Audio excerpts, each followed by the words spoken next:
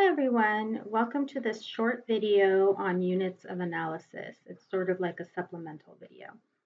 Um, the question to keep in mind when we're thinking about units of analysis is where the data come from versus what the data are about.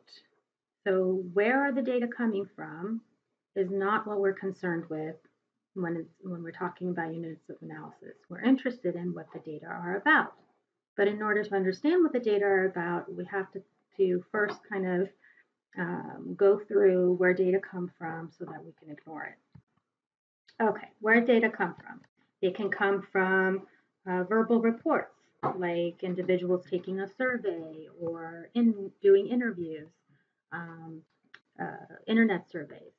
They can come from visual observations, um, actually looking at people's behavior, like when I talked about in the fundamentals of research video in terms of attachment and observing the number of times a mother kisses her child. Data can also come from archival information like agency records. We've talked about that before as well. So all of this is uh, about the source of information when it comes to where data come from. But what we're interested in, as I said, is what data are about.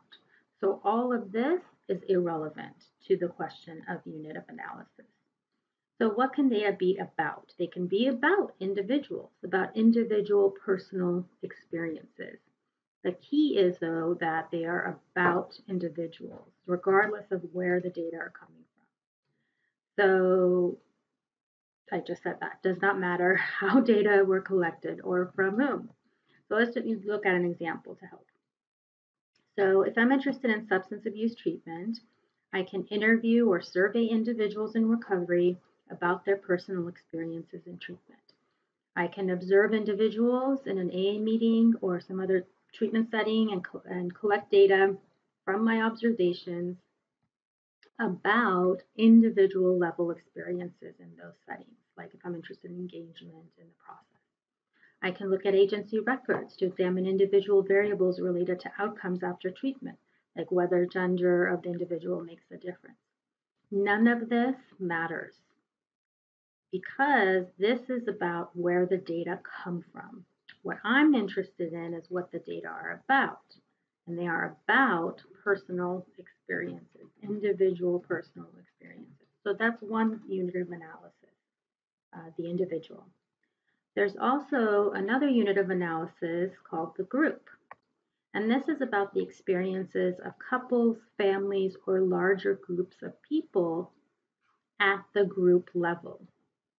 For example, social work researchers might be interested in learning more about families, racial or ethnic groups, gender groups, cultural groups, or cohorts of people or generations, like, for example, millennials versus baby boomers. Um, but let's take a, a, a look at families. A researcher might be interested in this kind of data. And I made up this data. We're going to pretend it's from the census. It's the average household income by marital status. So we have single, never married, married with a spouse present, married with a spouse absent, widowed, and divorced. The single and never married people are making 50,000 585 on average in terms of their household income compared to the other groups. So this is the lowest compared to the other groups of people. This is not to say that a single person uh, individually will make less than a married person. It's not about individuals. These data are about groups based on marital status. I cannot draw conclusions about individual um, people, um, or I shouldn't. And we'll talk about drawing conclusions at the end of this presentation. Okay, so data can be about individuals, data can be about groups, data can be about organizations. These are more formal than groups. Um, they usually have uh, specific goals. They're called organizations because they're more organized. And I'm sorry, I know that's using the term I'm trying to define in the definition, but if it helps, think of it as that they have more uh, structure, more uh, formal goals. Examples in, in, with regard to social work include actual organizations like nonprofit organizations, uh, government agencies like DCFS, uh, Department of Mental Health, etc., religious institutions of interest, but it can also be systems like the education system, the judicial system, the uh, child welfare system.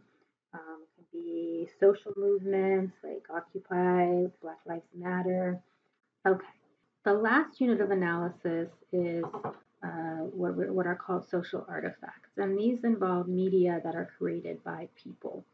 So usually pop culture related, but not always. And but they do usually involve a content analysis of that media. So whatever we're looking at, we're analyzing it for some purpose. So an example uh, might include news magazines. Other examples include movies, lyrics, books, etc. Uh, an example of social research, social work research using artifacts can include um, the following research question. How are welfare recipients portrayed in news articles and how does that contribute to stigma and to underutilization of services? So those are the different uh, units of analysis and you may be asking yourself, well, why do I need to know this? Um, well, for research purposes, it's important to keep in mind the unit of analysis when it comes time for drawing conclusions from uh, the results of a study because we want to avoid making errors in reasoning. The two main types of fallacies or errors in reasoning that can happen are called the uh, ecological and reductionist fallacies. So I'll go over each one in turn. The ecological fallacy happens when we draw conclusions or make claims about individuals when the unit of analysis is a group or higher, like an organization or what have you.